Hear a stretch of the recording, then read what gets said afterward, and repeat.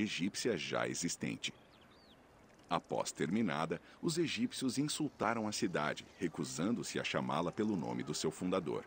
Em vez disso, eles a chamaram de Haked, local de construção, em sinal de desprezo. Seu nome helenizado foi Hakotis.